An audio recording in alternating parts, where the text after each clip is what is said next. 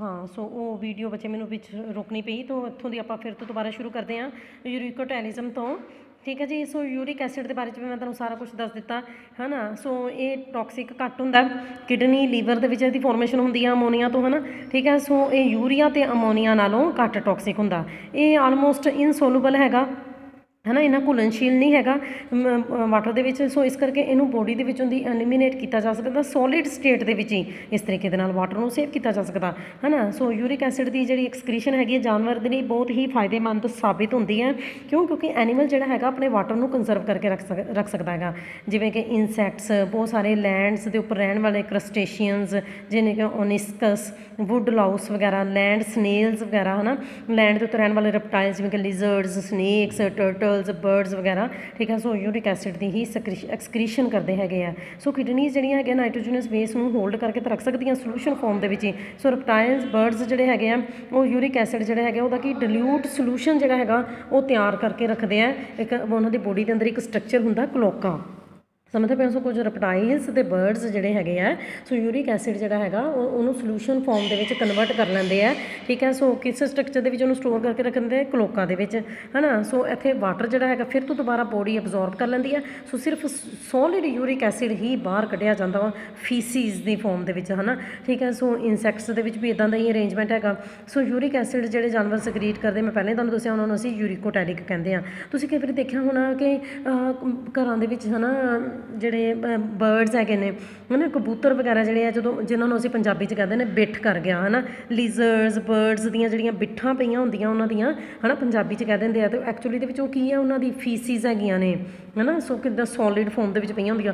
ਉਹਦੇ 'ਚ ਬੱਚੇ ਤੁਸੀਂ ਦੇਖਿਓ ਉਹਨਾਂ ਦੀਆਂ ਕਦੀ ਫੀਸਿਸ ਨੂੰ ਧਿਆਨ ਦੇ ਨਾਲ ਵਾਈਟ ਕਲਰ ਦਾ ਪੋਰਸ਼ਨ ਹੁੰਦਾ।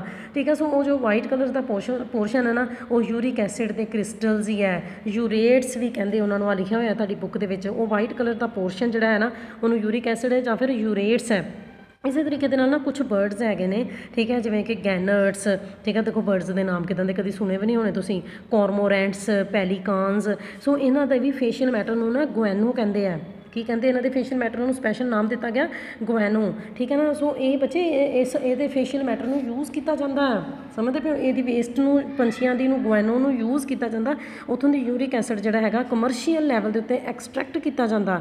ਠੀਕ ਹੈ? ਸੋ ਸਾਊਥ ਅਮਰੀਕਾ ਵਗੈਰਾ ਦੇ ਜਿਹੜੇ ਆਈਲੈਂਡਸ ਹੈਗੇ ਆ ਨਾ, ਉਹ ਅਕਸਰ ਗੁਐਨੋ ਦੇ ਨਾਲ ਕਾਫੀ ਜ਼ਿਆਦਾ ਢਕੇ ਰਹਿੰਦੇ ਆ। ਠੀਕ ਹੈ? ਸੋ ਪੂਰੇ ਆਈਲੈਂਡ ਦੇ ਉੱਤੇ ਗੁਐਨੋ ਜਿਹੜਾ ਹੈਗਾ ਖਿਲਰਿਆ ਪਿਆ ਹੁੰਦਾ।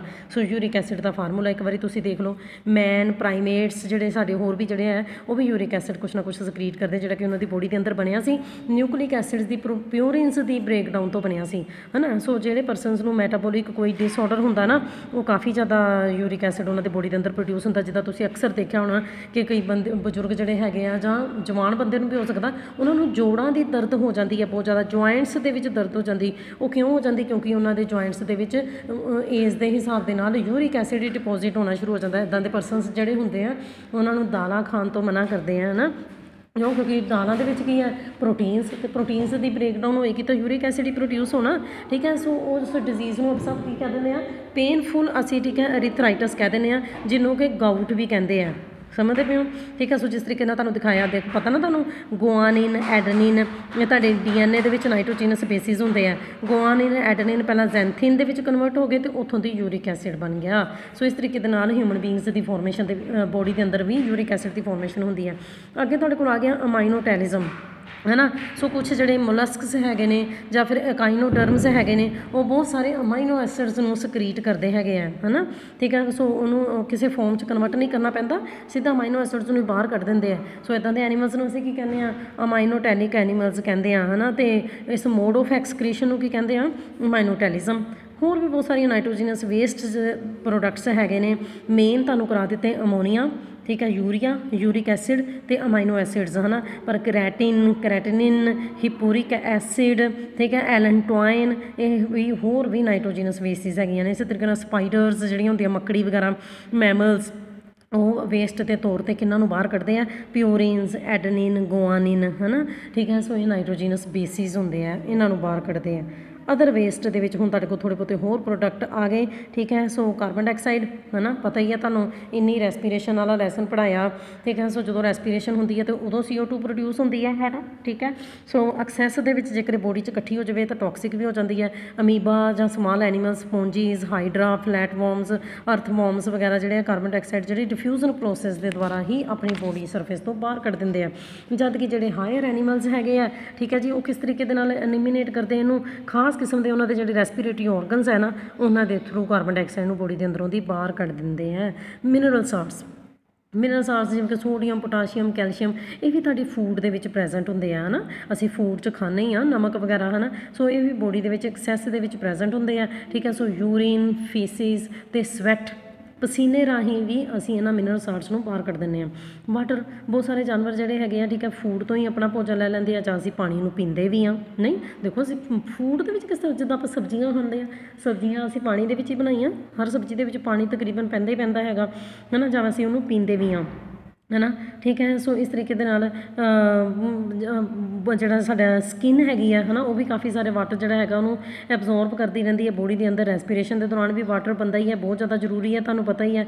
ਠੀਕ ਹੈ? ਜੇਕਰ ਜ਼ਿਆਦਾ ਹੀ ਲਾਸ ਹੋ ਜੇ ਤੇ ਅਸੀਂ ਕਹਿੰਦੇ ਨਾ ਨਾ ਡੀਹਾਈਡਰੇਸ਼ਨ ਹੋ ਗਈ ਹੈ। ਇਹਦੇ ਨਾਲ ਪਰਸਨ ਮਰ ਵੀ ਸਕਦਾ, ਜੇਕਰ ਬੋਡੀ ਦੇ ਵਿੱਚੋਂ ਦੀ ਪਾਣੀ ਦੀ ਐਕਸੈਸ ਦੇ ਵਿੱਚ ਲਾਸ ਹੋ ਜਾਏ।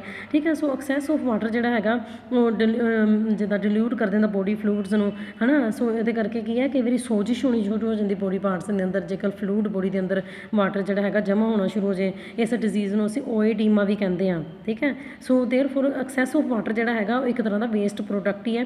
ਉਹ ਅਸੀਂ ਪਸੀਨੇ ਦੀ ਫਾਰਮ ਦੇ ਵਿੱਚ ਯੂਰੀਨ ਫੀਸਿਸ ਜਾਂ ਫਿਰ ਜਦੋਂ ਅਸੀਂ ਸਾਹ ਲੈਂਦੇ ਆ ਤੇ ਐਕਸਪਾਇਰਡ ਕਰਦੇ ਆ ਨਾ 에ਅਰ ਨੂੰ, ਹਵਾ ਨੂੰ ਬਾਹਰ ਕੱਢਦੇ ਆ ਉਹਦੀ ਫਾਰਮ ਦੇ ਵਿੱਚ ਵੀ ਵਾਟਰ ਬਾਹਰ ਨਿਕਲਦਾ ਰਹਿੰਦਾ। ਸੋ ਬੋਡੀ ਦੇ ਅੰਦਰ ਵਾਟਰ ਤੇ ਸਾਲਟ ਦਾ ਬੈਲੈਂਸ ਬਣਾ ਕੇ ਰੱਖਣਾ, ਇਹ ਤੁਸੀਂ ਕਿਸੇ ਨਾ ਕਿਸੇ ਪੜਿਆ ਹੋਏਗਾ, ਇਹਨੂੰ ਅਸੀਂ ਕਹਿੰਦੇ ਹਾਂ ਓਸਮੋ ਰੈਗੂਲੇਸ਼ਨ ਠੀਕ ਹੈ ਜੀ? ਅੱਗੇ ਤੁਹਾਡੇ ਕੋਲ ਆ ਗਿਆ ਵਿਟਾਮਿਨਸ ਹਾਰਮੋਨਸ ਹੈ ਨਾ? ਸੋ ਇਹ ਇੱਕ ਤਰ੍ਹਾਂ ਰੈਗੂਲੇਟਰੀ ਸਬਸਟੈਂਸਿਸ ਹੁੰਦੇ ਆ ਬੋਡੀ ਦੇ ਵਿੱਚ, ਬਹੁਤ ਜ਼ਰੂਰੀ ਹੈ ਵਿਟਾਮਿਨਸ ਐਂਡ ਹਾਰਮੋਨਸ ਹੈ ਨਾ ਠੀਕ ਹੈ? ਸੋ ਇਨ, ਇਹ ਵੀ ਉਦਾਂ ਪਰ ਜੇਕਰ ਐਕਸੈਸ ਦੇ ਵਿੱਚ ਹੋ ਜਾਣ ਤੇ ਇਹਨਾਂ ਦਾ ਵੀ ਰਿਮੂਵਲ ਜ਼ਰੂਰੀ ਹੈ ਬੋਡੀ ਚੋਂ। ਸਪਾਈਸਿਸ ਅਨੀਅਨ ਗਾਰਲਿਕ ਤੇ ਹੋਰ ਬਹੁਤ ਸਾਰੇ ਸਪਾਈਸਿਸ ਜਿਹੜੇ ਹੈਗੇ ਆ, ਇਹਨਾਂ ਦੇ ਵੀ ਵੋਲੇਟਾਈਲ ਕੰਪੋਨੈਂਟਸ ਹੁੰਦੇ ਆ, ਠੀਕ ਹੈ ਨਾ? ਸੋ ਇਹ ਵੀ ਲੰਗਸ ਦੇ ਦੁਆਰਾ ਅਸੀਂ ਥੋੜੇ ਬਹੁਤੇ ਇਹਨਾਂ ਨੂੰ ਬਾਹਰ ਕੱਢਦੇ ਰਹਿੰਦੇ ਆ, ਕਿਡਨੀ ਦੇ ਥਰੂ ਬਾਹਰ ਕੱਢਦੇ ਰਹਿੰਦੇ, ਦੇਖ ਲਓ, ਜਿਹੜੀਆਂ ਅਸੀਂ ਸਪਾਈਸਿਸ ਖਾਂਦੇ ਆ।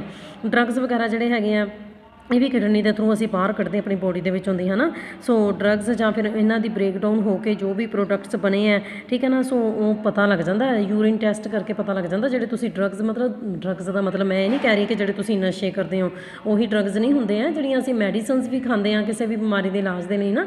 ਉਹਨਾਂ ਨੂੰ ਵੀ ਆਪਾਂ ਡਰੱਗਸ ਹੀ ਕਹਿੰਦੇ ਆ ਠੀਕ ਹੈ ਜੀ? ਇਸੇ ਤਰੀਕੇ ਨਾਲ ਜਿੱਦਾਂ ਮੈਂ ਤੁਹਾਨੂੰ ਸ਼ੁਰੂ ਦੇ ਵਿੱਚ ਦੱਸਿਆ ਕਿ ਫੀਸਿਸ ਬਾਹਰ ਕੱਢਣਾ, ਠੀਕ ਹੈ? ਉਹ ਐਕਸਕ੍ਰੀਸ਼ਨ ਨਹੀਂ ਹੈ ਡੀਫਿਕੇਸ਼ਨ ਹੈ ਨਾ ਜੋ ਅਸੀਂ ਵੇਸਟ ਆਪਣੀ ਬਾਹਰ ਕਰਦੇ ਆ ਨਾ ਸੋਲਿਡ ਵੇਸਟ ਹੈ ਨਾ ਠੀਕ ਹੈ? ਸੋ ਉਹ ਉਹ ਐਕਸਕ੍ਰੀਸ਼ਨ ਚ ਨਹੀਂ ਆ ਜਾਂਦਾ। ਡੀਫਿਕੇਸ਼ਨ ਦਾ ਮਤਲਬ ਕੀ ਹੈਗਾ? ਡਾਈਜੈਸਟਿਵ ਟਰੈਕ ਦੇ ਦੁਆਰਾ ਫੀਸਿਸ ਨੂੰ ਬਾਹਰ ਕੱਢਣਾ। ਕਹਿੰਦਾ ਇਹ ਐਕਸਕ੍ਰੀਸ਼ਨ ਨਹੀਂ ਹੈ, ਠੀਕ ਹੈ ਨਾ? ਫੀਸਿਸ ਜਿਹੜੀਆਂ ਹੈਗੀਆਂ ਨੇ, ਉਹਦੇ ਵਿੱਚ ਵੇਸਟ ਮਟੀਰੀਅਲ ਤਾਂ ਹੁੰਦਾ ਹੀ ਹੈ। ਹੈ ਨਾ ਜਿਹੜਾ ਕਿ ਐਕਸਕ੍ਰੀਟ ਕੀਤਾ ਗਿਆ ਬਾਇਲ ਦੇ ਦੁਆਰਾ। ਬਾਇਲ ਪਤਾ ਨਾ ਤੁਹਾਨੂੰ ਬਾਇਲ ਜੂਸ ਜੋ ਕਿ ਲੀਵਰ ਸਕ੍ਰੀਟ ਕਰਦਾ, ਠੀਕ ਹੈ, ਜਾਂ ਫਿਰ ਰੈਕਟਲ ਐਪੀਥੀਲੀਅਮ ਵਗੈਰਾ। ਸੋ ਮਤਲਬ ਸਿੱਧੀ ਜੀ ਗੱਲ ਹੈ ਕਿ ਜਿਹੜੀ ਸੋਲਿਡ ਵੇਸਟ ਸਾਡੀ ਬੋਡੀ ਦੇ ਵਿੱਚੋਂ ਦੀ ਨਿਕਲਦੀ ਹੈ ਨਾ, ਮਤਲਬ ਕਿ ਫੂਡ ਅਸੀਂ ਖਾਦਾ ਉਹਦੇ ਤੋਂ એનર્ਜੀ ਲਈ, ਠੀਕ ਹੈ ਬਟ ਇਨਡਾਈਜੈਸਟੀਬਲ ਜਿਹੜੇ ਰਿਮੇਨਸ ਬਚੀਆਂ ਨਾ ਫੂਡ ਦੇ ਵਿੱਚੋਂ ਦੀ, ਜੋ ਸੋਲਿਡ ਵੇਸਟ ਅਸੀਂ ਬੋਡੀ ਦੇ ਵਿੱਚੋਂ ਦੀ ਕੱਢੀ ਹੈ, ਠੀਕ ਹੈ, ਜਾਂ ਫਿਰ ਬੋਡੀ ਜਿਹੜੀ ਉਹਦੇ ਅੰਦਰ ਮੈਟਾਬੋਲਿਜ਼ਮ ਹੋਇਆ ਸੀ। ਸੋ ਅਨਡਾਈਜੈਸਟਿਡ ਫੂਡ ਜਿਹੜਾ ਹੈਗਾ simply travels through the digestive tract and passes out ਇਸ ਐਲੀਮੀਨੇਸ਼ਨ ਨੂੰ ਅਸੀਂ ਕੀ ਕਹਿੰਦੇ ਨੇ ਇਜੈਸ਼ਨ ਕਹਿੰਦੇ ਨੇ ਜਾਂ ਫਿਰ ਡੀਫੀਕੇਸ਼ਨ ਕਹਿ ਦਿੰਦੇ ਆ ਗੱਲ ਸਮਝ ਆ ਗਈ ਤੁਹਾਨੂੰ? ਠੀਕ ਹੈ ਨਾ? ਸੋ ਇਸ ਤਰੀਕੇ ਦੇ ਨਾਲ ਸੋਲਿਡ ਵੇਸਟ ਜਿਹੜੀ ਹੈਗੀ ਆ ਉਹਨੂੰ ਬਾਹਰ ਕੱਢਣਾ ਜਿਹੜਾ ਹੈ ਨਾ, ਠੀਕ ਹੈ? ਸੋ ਉਹ ਐਕਸਕ੍ਰੀਸ਼ਨ ਚ ਨਹੀਂ ਆ ਜਾਂਦਾ। ਉਹਦੇ ਲਈ ਅਸੀਂ ਟਰਮ ਯੂਜ਼ ਕਰਦੇ ਹਾਂ ਇਜੈਸ਼ਨ ਜਾਂ ਫਿਰ ਡੀਫਿਕੇਸ਼ਨ ਕਹਿ ਦਿੰਦੇ ਆ ਅੱਗੇ ਤੁਹਾਡੇ ਕੋਲ ਛੋਟੇ ਛੋਟੇ ਟੌਪਿਕ ਆ ਗਏ ਹੋਮਿਓਸਟਾਸਿਸ ਓਸਮੋ ਰੈਗੂਲੇਟਰਸ ਠੀਕ ਹੈ ਜੀ? ਓਸਮੋ ਰੈਗੂਲੇਸ਼ਨ ਤੇ ਅਗਲਾ ਤੁਹਾਡੇ ਕੋਲ ਹੈ ਜਾਂਦਾ ਅੱਗੇ ਜਾ ਕੇ ਤੁਹਾਨੂੰ ਆਣਾ ਹੈ ਓਸਮੋ ਕਨਫਰਮਰਸ ਠੀਕ ਹੈ? ਸੋ ਹੋਮਿਓਸਟਾਸਿਸ ਇਹ ਜੇ ਤੁਹਾਨੂੰ ਯਾਦ ਹੈ ਤੇ ਲਿਵਿੰਗ ਆਰਗੇਨਿਜ਼ਮ ਦੇ ਕਰੈਕਟਰਿਸਟਿਕਸ ਦੇ ਵਿੱਚ ਵੀ ਮੈਂ ਤੁਹਾਨੂੰ ਥੋੜ੍ਹਾ ਬਹੁਤਾ ਜਿਹੜਾ ਹੈਗਾ ਉਹ ਪੜ੍ਹਾਇਆ ਹੋਇਆ। ਸੋ ਬੱਚੇ, ਮਤਲਬ ਕਿ ਆਪਣੀ ਇੰਟਰਨਲ ਬੋਡੀ ਟੈਂਪਰੇਚਰ ਨੂੰ ਮੇਨਟੇਨ ਕਰਕੇ ਰੱਖਣਾ, ਬਾਹਰ ਭਾਵੇਂ ਜਿੰਨੇ ਦੇ ਮਰਜ਼ੀ ਹਾਲਾਤ ਹੋਣ, ਠੀਕ ਹੈ ਨਾ, ਆਪਣੇ ਬੋਡੀ ਦੇ ਇੰਟਰਨਲ ਟੈਂਪਰੇਚਰ ਨੂੰ ਮੇਨਟੇਨ ਕਰਕੇ ਰੱਖਣਾ, ਅਸੀਂ ਉਹਨੂੰ ਕਹਿੰਦੇ ਹੋਮਿਓਸਟਾਸਿਸ ਹੈ ਨਾ। ਸੋ ਓਸਮੋ ਰੈਗੂਲੇਸ਼ਨ ਐਕਸਕ੍ਰੀਸ਼ਨ ਇਹ ਬਹੁਤ ਜ਼ਿਆਦਾ ਹੈਲਪ ਕਰਦੇ ਆ ਮੇਨਟੇਨ ਕਰਨ ਦੇ ਵਿੱਚ, ਹੈ ਨਾ। ਕੈਮੀਕਲ ਤੇ ਫਲੂਇਡ ਦਾ ਹੋਮਿਓਸਟਾਸਿਸ ਜਿਹੜਾ ਹੈਗਾ, ਮਤਲਬ ਕਿ uniform physiological state in the body uniform and beneficial ਹੈਨਾ? ਸੋ ਸਾਡੀ ਬੋਡੀ ਜਿਹੜੀ ਹੈਗੀ ਆ, ਉਹਦੇ ਅੰਦਰ ਸਾਰੀਆਂ ਕੰਡੀਸ਼ਨਸ ਜਿਹੜੀਆਂ ਹੈਗੀਆਂ ਨੇ ਨਾਰਮਲ ਰਹਿਣ, ਇੱਕ ਤਰ੍ਹਾਂ ਦੀਆਂ ਰਹਿਣ, ਠੀਕ ਹੈ? ਇਹਨੂੰ ਅਸੀਂ ਕਹਿੰਦੇ ਹੋਮਿਓਸਟਾਸਿਸ ਅੱਗੇ ਤੁਹਾਡੇ ਕੋਲ ਟੌਪਿਕ ਆ ਜਾਂਦਾ ਓਸਮੋ ਰੈਗੂਲੇਸ਼ਨ ਹੈ ਨਾ ਠੀਕ ਹੈ? ਸੋ ਬੋਡੀ ਜਿਹੜੀ ਉਹ ਪ੍ਰੋਸੈਸ ਹੈ ਨਾ ਮੈਂ ਤੁਹਾਨੂੰ ਪਹਿਲੇ ਦੱਸਿਆ ਸੀ ਓਸਮੋ ਰੈਗੂਲੇਸ਼ਨ ਕੀ ਹੁੰਦੀ ਹੈ? ਬੋਡੀ ਦੇ ਅੰਦਰ ਸਾਲਟ ਤੇ ਵਾਟਰ ਦਾ ਜਿਹੜਾ ਬੈਲੈਂਸ ਹੈਗਾ ਨਾ, ਉਹਨੂੰ ਮੇਨਟੇਨ ਕਰਕੇ ਰੱਖਣਾ ਹੈ ਨਾ ਠੀਕ ਹੈ? ਸੋ ਜਿੱਦਾਂ ਕਿ ਕੋਈ ਵੀ ਬੋਡੀ ਫਲੂਡ ਹੈ ਹੈ ਨਾ ਬੋਡੀ ਦੇ ਅੰਦਰ ਬਹੁਤ ਸਾਰੇ ਫਲੂਡਸ ਹੁੰਦੇ ਹੀ ਹੈ। ਲੀਕ ਬਲੱਡ ਵੀ ਹੈ ਲਿੰਫ ਵੀ ਹੈ ਹੈ ਨਾ ਠੀਕ ਹੈ? ਸੋ ਉਹਨੂੰ ਸਟੈਡੀ ਸਟੇਟ ਦੇ ਵਿੱਚ ਰੱਖਣਾ, ਕਿਉਂਕਿ ਸੈਲਸ ਜਿਹੜੇ ਹੈਗੇ ਆ, ਉਹਨਾਂ ਦੇ ਅੰਦਰ ਵੀ ਮੈਟਾਬੋਲਿਜ਼ਮ ਹੁੰਦਾ ਰਹਿੰਦਾ। ਠੀਕ ਹੈ? ਸੋ ਬੋਡੀ ਫਲੂਡ ਜਿਹੜੇ ਹੈਗੇ ਉਹ ਦੋ ਤਰ੍ਹਾਂ ਦੇ ਹੋ ਸਕਦੇ ਨਾ। ਇੰਟਰਾ ਫਲੂਡ ਮਤਲਬ ਕਿ ਜਿਹੜਾ ਕਿ ਸੈੱਲ ਦੇ ਅੰਦਰ ਹੁੰਦਾ ਐਕਸਟਰਾ ਸੈਲੂਲਰ ਫਲੂਇਡ ਹੈ ਨਾ ਜਿਹੜਾ ਕਿ ਸੈਲਸ ਤੋਂ ਬਾਹਰ ਹੁੰਦਾ, ਜਿਵੇਂ ਕਿ ਟਿਸ਼ੂ ਫਲੂਡ ਬਲੱਡ ਲਿੰਫ ਹੈ ਨਾ ਠੀਕ ਹੈ? ਇਹ ਸੈਲਸ ਦੇ ਬਾਹਰ ਹੀ ਘੁੰਮ ਫਿਰ ਰਿਹਾ ਹੁੰਦਾ, ਤੁਹਾਡੇ ਬਲੱਡ ਵੈਸਲਸ ਦੇ ਵਿੱਚ। ਠੀਕ ਹੈ? ਸੋ ਓਸਮੋ ਰੈਗੂਲੇਸ਼ਨ ਜਿਹੜੀ ਹੈਗੀ ਹੈ, ਠੀਕ ਹੈ? ਸੋ ਉਹਦੇ ਵਿੱਚ ਵਾਟਰ ਮੂਵਮੈਂਟ ਹੋ ਰਹੀ ਹੈ, ਹਨਾ? ਸੋ ਨਾ ਵਿੱਚ ਵਿੱਚ ਸਲਿਊਟਸ ਵੀ ਹੈਗੇ ਆ ਸੋਲਿਡ ਪਾਰਟੀਕਲਸ ਵੀ ਹੈਗੇ ਆ ਓਸਮੋਸਿਸ ਦੀ ਪ੍ਰੋਸੈਸ ਦੇ ਦੁਆਰਾ, ਤੁਹਾਨੂੰ ਪਤਾ ਹੀ ਹੈ ਕਿ ਦੋ ਮੇਨ ਪ੍ਰੋਸੈਸਿਸ ਹੁੰਦੀਆਂ ਜਿਹਦੇ ਦੁਆਰਾ ਕਿ ਸਲਿਊਟਸ ਤੇ ਸੋਲਵੈਂਟਸ ਦੀ ਮੂਵਮੈਂਟ ਹੁੰਦੀ ਹੈ ਡਿਫਿਊਜ਼ਨ ਤੇ ਓਸਮੋਸਿਸ ਹੈ ਨਾ ਸੋ ਓਸਮੋਸਿਸ ਡਿਫਿਊਜ਼ਨ ਦੀ ਹੀ ਇੱਕ ਟਾਈਪ ਹੈ ਹੈ ਨਾ ਸੋ ਇਹਦੇ ਵਿੱਚ ਕੀ ਹੈ ਕਿ ਵਾਟਰ ਜਿਹੜਾ ਹੈਗਾ, ਠੀਕ ਆ, ਉਹ ਮੂਵ ਕਰਦਾ ਪਿਆ ਡਿਲੂਟ ਸੋਲੂਸ਼ਨ ਤੋਂ ਕਿੱਧਰ ਨੂੰ? ਸਟਰੋਂਗ ਸੋਲੂਸ਼ਨ ਨੂੰ।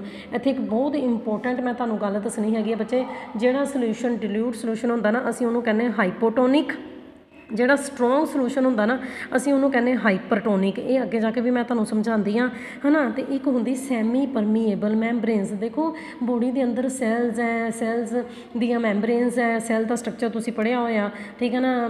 Plasma membrane cell membrane cell wall ਹਨਾ? ਠੀਕ ਹੈ? ਸੋ ਉਹ ਤਿੰਨ ਤਰ੍ਹਾਂ ਦੀਆਂ ਹੁੰਦੀਆਂ ਐਕਚੁਅਲੀ ਸਾਡੀਆਂ ਮੈਂਬਰੇਨਸ ਜਿਹੜੀਆਂ ਹੁੰਦੀਆਂ ਨਾ, ਮੈਂ ਸ਼ਾਇਦ ਤੁਹਾਨੂੰ ਪਹਿਲਾਂ ਵੀ ਕਦੀ ਦੱਸਿਆ ਹੋਏ।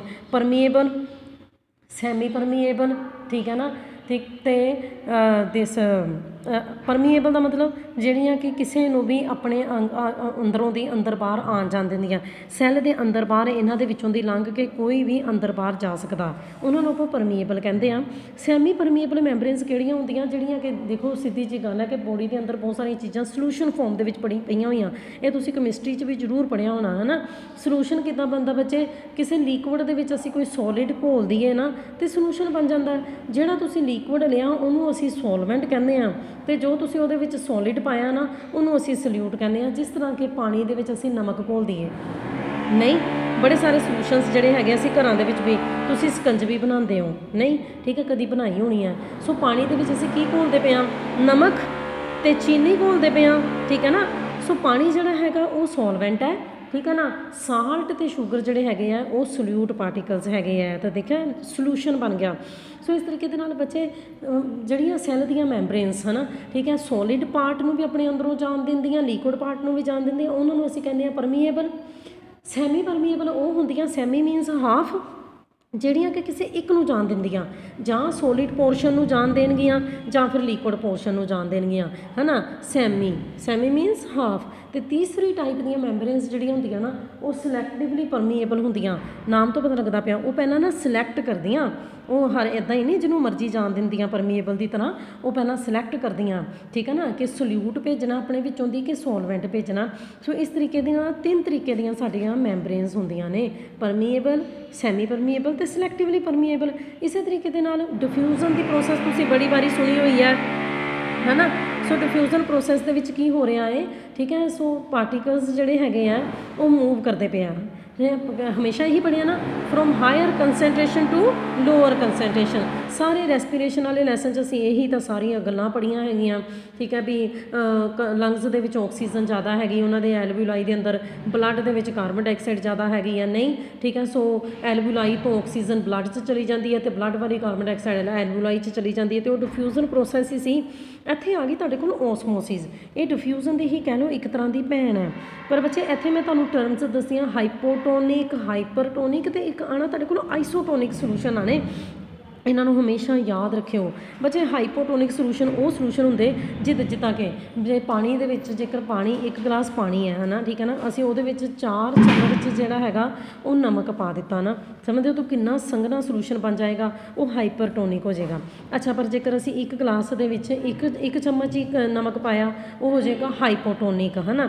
ਤੇ ਜੇਕਰ ਅਸੀਂ ਉਨਾ ਕੀ ਪਾਣੀ ਤੇ ਉਨਾ ਕੀ ਨਮਕ ਲਿਆ, ਉਹ ਹੋ ਜਾਏਗਾ ਆਈਸੋਟੋਨਿਕ ਸਮਝਦੇ ਪਏ ਨਾ ਗੱਲ ਨੂੰ?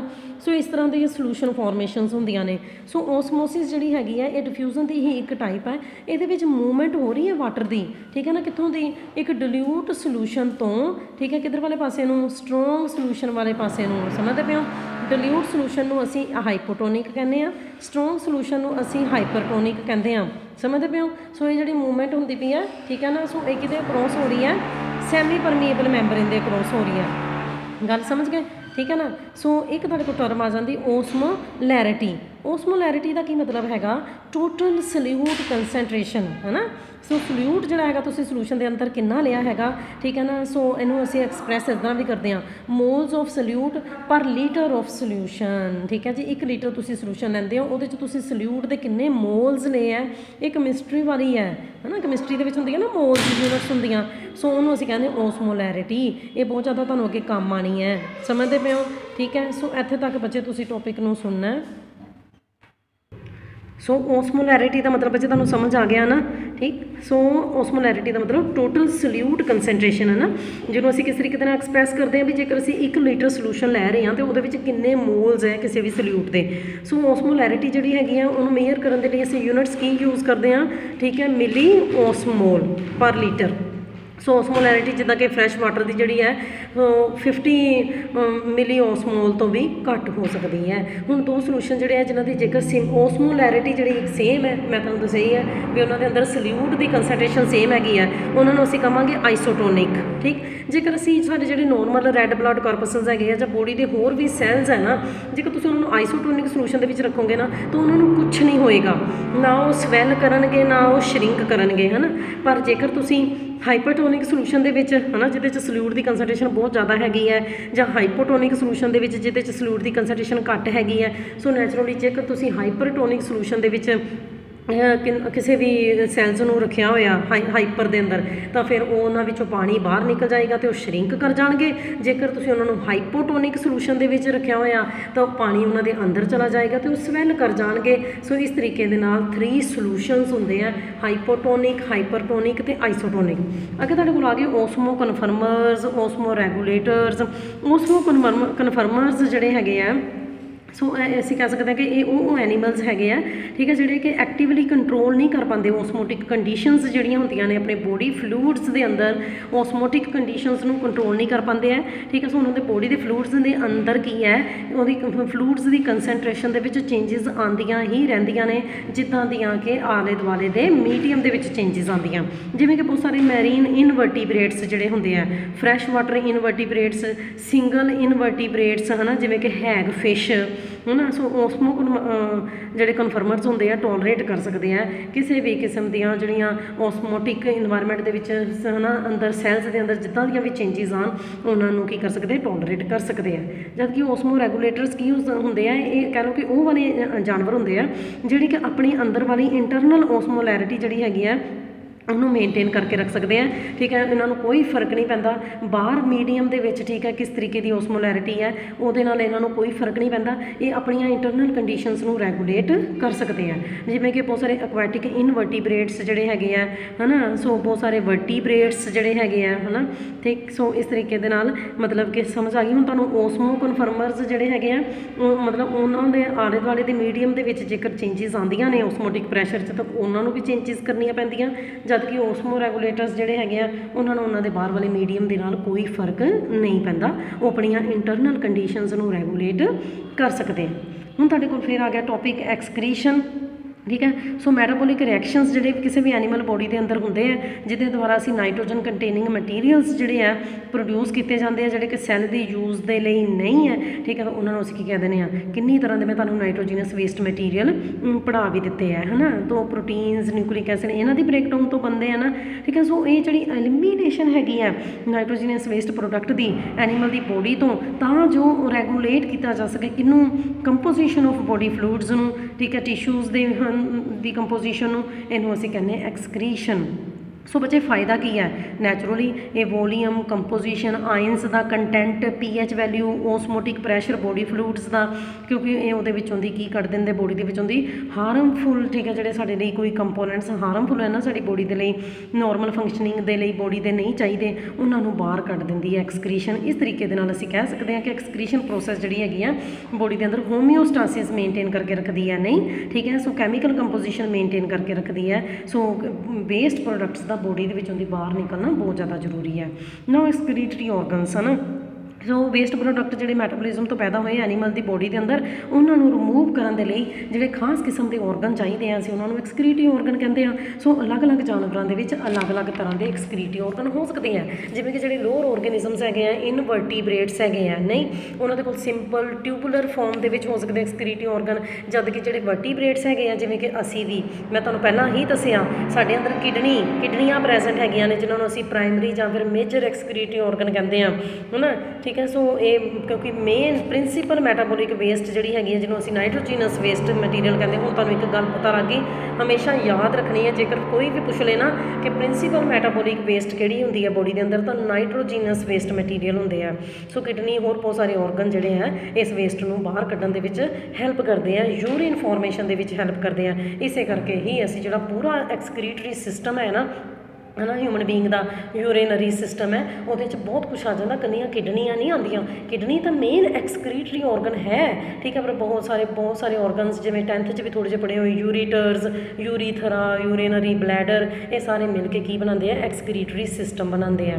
ਗੱਲ ਸਮਝ ਗਏ ਹੋ? ਠੀਕ ਹੈ, ਸੋ ਹੋਰ ਬਹੁਤ ਸਾਰੇ ਆਰਗਨਸ ਜਿਵੇਂ ਕਿ ਲੰਗਸ ਲੀਵਰ ਇੰਟੈਸਟਾਈਨ ਸਕਿਨ ਵਗੈਰਾ, ਇਹ ਵੀ ਮੈਟਾਬੋਲਿਕ ਵੇਸਟ ਨੂੰ ਬੋਡੀ ਦੇ ਅੰਦਰੋਂ ਦੀ ਬਾਹਰ ਕੱਢਦੇ ਆ। ਇਹਨਾਂ ਨੂੰ ਅਸੀਂ ਕਹਿੰਦੇ ਨੇ ਅਸੈਸਰੀ ਜਾਂ ਫਿਰ ਐਕਸਕਰੀਟਰੀ ਐਡੀਸ਼ਨਲ ਐਕਸਕ੍ਰੀਟਰੀ ਆਰਗਨਸ ਹੁਣ ਤੁਹਾਨੂੰ ਗੱਲ ਸਮਝ ਆ ਗਈ, ਕਿਡਨੀ ਜਿਹੜੀ ਹੈਗੀ ਆ, ਉਹ ਮੇਨ ਪ੍ਰਾਇਮਰੀ ਐਕਸਕ੍ਰੀਟਰੀ ਆਰਗਨ ਹੈ, ਤੇ ਜੇਕਰ ਬੋਡੀ ਦੇ ਹੋਰ ਵੀ ਆਰਗਨਸ ਦੇ ਵਿੱਚੋਂ ਦੀ ਵੇਸਟ ਬਾਹਰ ਨਿਕਲਦੀ ਪਈ ਹੈ, ਜਿਵੇਂ ਲੰਗਸ ਦੇ ਵਿੱਚੋਂ ਦੀ ਸਕਿਨ ਦੇ ਵਿੱਚੋਂ ਦੀ ਇਹਨਾਂ ਨੂੰ ਅਸੀਂ ਕਹਿੰਦੇ ਆ ਅਸੈਸਰੀ ਜਾਂ ਫਿਰ ਐਡੀਸ਼ਨਲ ਐਕਸਕ੍ਰੀਟਰੀ ਆਰਗਨ ਕਹਿੰਦੇ ਆ ਸੋ ਇਸ ਤਰੀਕੇ ਦੇ ਨਾਲ ਐਕਸਕ੍ਰੀਟਰੀ ਤੇ ਓਸਮੋ ਰੈਗੂਲੇਟਰੀ ਆਰਗਨ ਸਭ ਤੋਂ ਪਹਿਲਾਂ ਸ਼ੁਰੂ ਹੋ ਗਏ ਤੁਹਾਡੇ ਕੋਲ ਪ੍ਰੋਟੋਜੋਨਸ ਚ ਤੇ ਇਨਵਰਟੀਬ੍ਰੇਟਸ ਦੇ ਵਿੱਚ। ਪ੍ਰੋਟੋਜੋਨਸ ਦੇ ਵਿੱਚ ਪਤਾ ਨਾ ਤੁਹਾਨੂੰ ਅਮੀਬਾ ਪੈਰਾਮੀਸ਼ੀਅਮ ਇਹ ਆ ਜਾਂਦੇ ਆ, ਪਾਣੀ ਦੇ ਵਿੱਚ ਰਹਿੰਦੇ ਆ।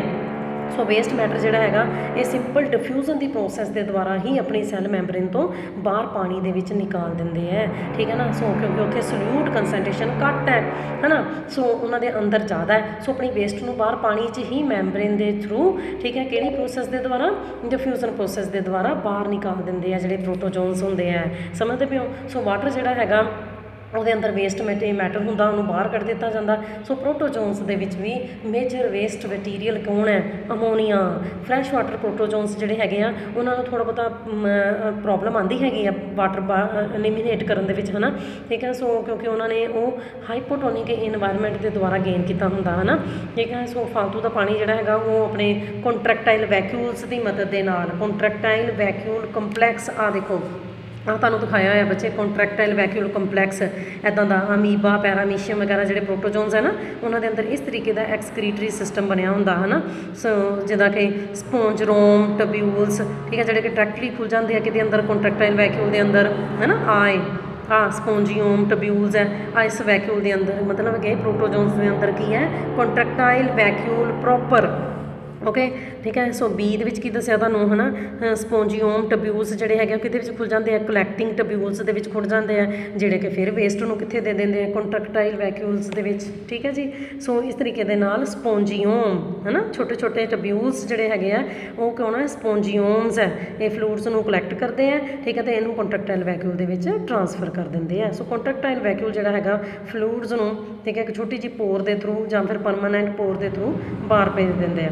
ਇਸ ਤਰੀਕੇ ਦੇ ਨਾਲ ਮੈਰੀਨ ਪੈਰਾਸਿਟਿਕ ਪ੍ਰੋਟੋਜੋਨਸ ਜਿਹੜੇ ਹੈਗੇ ਆ do not have this problem ਹਨਾ? ਉਹਨਾਂ ਨੂੰ ਕੋਈ ਕਿਸੇ ਕਿਸਮ ਦੀ ਪ੍ਰੋਬਲਮ ਨਹੀਂ ਆਂਦੀ ਕਿਉਂ? ਕਿਉਂਕਿ ਉਹਨਾਂ ਦਾ এনवायरमेंट ਜਿਹੜਾ ਹੈਗਾ ਆਈਸੋਟੋਨਿਕ ਹੈਗਾ, ਠੀਕ ਹੈ? ਸੋ ਇਸ ਕਰਕੇ ਉਹਨਾਂ ਨੂੰ ਜ਼ਰੂਰਤ ਨਹੀਂ ਪੈਂਦੀ ਹੈ, ਹਨਾ? ਪਰ ਜਿਹੜੇ ਹਾਈਪੋਟੋਨਿਕ এনवायरमेंट ਦੇ ਵਿੱਚ ਰਹਿੰਦੇ, ਹੁਣ ਨਹੀਂ ਮੈਂ ਦੱਸਣਾ ਆਈਸੋ ਤੇ ਹਾਈਪੋਟੋਨਿਕ ਉਹਨਾਂ ਨੂੰ ਕੰਟਰੈਕਟਾਈਲ ਵੈਕਿਊਲ ਕੰਪਲੈਕਸ ਦੀ ਜ਼ਰੂਰਤ ਪੈਂਦੀ ਹੈ। ਅੱਗੇ ਤੁਹਾਡੇ ਕੋਲ ਆ ਗਈਆਂ ਸਪੌਂਜਸ ਸੋ ਸਪੌਂਜਿਸ ਦੇ ਅੰਦਰ ਮੇਨ ਐਕਸਕ੍ਰੀਟਰੀ ਪ੍ਰੋਡਕਟ ਕੌਣ ਹੈ? ਅਮੋਨੀਆ ਹਨਾ? ਇਹ ਸੈਲਸ ਨੂੰ ਬਾਹਰ ਕੱਢ ਦਿੰਦੇ ਆ, ਆਪਣੀ ਵੇਸਟ ਨੂੰ ਕਿਤੇ, ਕਿਹੜੀ ਪ੍ਰੋਸੈਸ ਦੇ ਦੁਆਰਾ? ਡਿਫਿਊਜ਼ਨ ਦੇ ਦੁਆਰਾ, ਹਨਾ? ਪਾਣੀ ਦੇ ਵਿੱਚ, ਹਨਾ? ਸੋ ਸਪੌਂਜਿਸ ਵੀ ਜਿਹੜੀਆਂ ਪਾਣੀ ਦੇ ਵਿੱਚ ਹੀ ਰਹਿੰਦੀਆਂ ਨਾ, ਉਹਨਾਂ ਦੇ ਆਲੇ ਦੁਆਲੇ ਪਾਣੀ ਹੈ, ਠੀਕ ਹੈ ਨਾ? ਸੋ ਵਾਟਰ ਜਿਹੜਾ ਹੈਗਾ, ਉਹਨਾਂ ਦੇ ਅੰਦਰ ਜਿਹੜੀਆਂ ਕੈਨਾਲਸ ਹੁੰਦੀਆਂ ਸਪੌਂਜਿਸ ਦੇ ਅੰਦਰ, ਉਹਨੂੰ ਵੀ ਫਿਲ ਕੀਤਾ ਹੋਇਆ ਨਾ ਵਾਟਰ ਨੇ।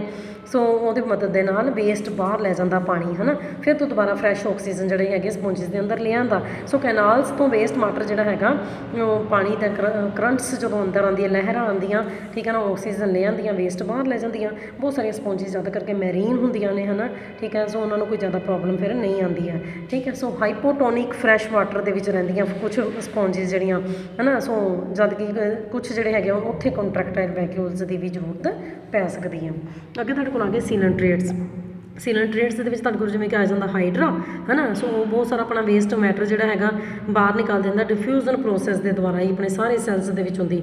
ਵੇਸਟ ਮੈਟਰ ਜਿਹੜਾ ਹੈਗਾ ਸਿਲੰਟਰੇਟਸ ਦੇ ਅੰਦਰ ਐਂਟਰ ਕੀਤਾ ਸੀਗਾ, ਹਨਾ? ਸੋ ਜਦੋਂ ਫਿਰ ਤੋਂ ਦੁਬਾਰਾ ਫਰੈਸ਼ ਵਾਟਰ ਆਣਾ ਹੈਗਾ, ਉਹਨੇ ਫਿਰ ਆਕਸੀਜਨ ਲਿਆ ਨਹੀਂ ਹੈ ਵੇਸਟ ਫਿਰ ਬਾਹਰ ਲੈ ਜਾਣੀ ਹੈ। ਸੋ ਬਹੁਤ ਸਾਰੇ ਜਿਹੜੇ ਸਿਲੰਟਰੇਟਸ ਹੁੰਦੇ ਆ ਨਾ, ਜਿਵੇਂ ਕਿ ਹਾਈਡਰਾ ਵਗੈਰਾ, ਉਹ ਮੈਰੀਨ ਹੁੰਦੇ ਆ। ਉਹਨਾਂ ਨੂੰ ਵੀ ਓਸਮੋ ਰੈਗੂਲੇਸ਼ਨ 'ਚ ਕੋਈ ਵੀ ਪ੍ਰੋਬਲਮ ਨਹੀਂ ਆਉਂਦੀ ਹੈ। ਅਦਰ ਇਨਵਰਟੀਬ੍ਰੇਟਸ ਸੋ ਜੇਕਰ ਅਸੀਂ ਪਲੈਟਫਾਰਮਸ ਤੋਂ ਬਾਅਦ ਦੇਖੀਏ ਇਨਵਰਟੀਬ੍ਰੇਟਸ ਜਿਹੜੇ ਹੁੰਦੇ ਉਹਨਾਂ ਦੇ ਕੋਲ ਵੀ ਖਾਸ ਕਿਸਮ ਦੇ ਐਕਸਕਰੀਟਰੀ ਤੇ ਓਸਮੋਰੈਗੂਲੇਟਰੀ ਔਰਗਨ ਹੁੰਦੇ ਆ। ਠੀਕ ਹੈ ਸੋ ਅਲੱਗ-ਅਲੱਗ ਇਨਵਰਟੀਬ੍ਰੇਟਸ ਦੇ ਵਿੱਚ ਅਲੱਗ-ਅਲੱਗ ਐਕਸਕ੍ਰੀਟਰੀ ਔਰਗਨ ਹੋ ਸਕਦੇ ਆ। ਜਿਵੇਂ ਕਿ ਵੋਮਸ ਦੇ ਵਿੱਚ ਕਿਹੜੇ-ਕਿਹੜੇ ਐਕਸਕਰੀਟਰੀ ਔਰਗਨ ਹੁੰਦੇ ਇਹ ਵੀ ਕੰਪੀਟੀਸ਼ਨ ਦੇ ਵਿੱਚ ਕੁਐਸਚਨ ਪੁੱਛੇ ਜਾਂਦੇ ਆ। ਨੈਫਰੀਟੀਆ ਠੀਕ ਹੈ ਐਂਟਨਰੀ ਐਂਡ ਮੈਗਜ਼ਿਲਰੀ ਗਲੈਂਡਸ ਕਰਸਟੇਸ਼ੀਅਨਸ ਦੇ ਵਿੱਚ ਮਾਲਪੀਗੀਅਨ ਟਿਬਿਊਲਸ ਇਨਸੈਕਟਸ ਦੇ ਵਿੱਚ ਸੈਂਟੀਪੀਡਸ ਮਿਲੀਪੀਡਸ ਵਗੈਰਾ, ਇਹਨਾਂ ਦੇ ਵਿੱਚ ਕੀ ਹੈ ਮਾਲਪੀਗੀਅਨ ਟਿਬਿਊਲਸ ਐਕਸਕ੍ਰੀਟਰੀ ਆਰਗਨ ਹੈ ਮੋਲਸਕਸ ਦੇ ਵਿੱਚ ਵਰਟੀਬ੍ਰੇਟਸ ਦੇ ਵਿੱਚ ਕਿਡਨੀਜ਼ ਹੈ। ਸਮਝਦੇ ਪਏ ਹੋ ਨਾ? ਸੋ ਵਰਟੀਬ੍ਰੇਟਸ ਤੇ ਇਨਵਰਟੀਬ੍ਰੇਟਸ ਦੇ ਵਿੱਚ ਵੀ ਅਲੱਗ-ਅਲੱਗ ਐਕਸਕ੍ਰੀਟਰੀ ਆਰਗਨ ਜਿਹੜੇ ਆ, ਉਹ ਹੋ ਸਕਦੇ ਆ। ਇੱਥੇ ਤੱਕ ਤੁਸੀਂ ਵੀਡੀਓ ਨੂੰ ਸੁਣਨਾ।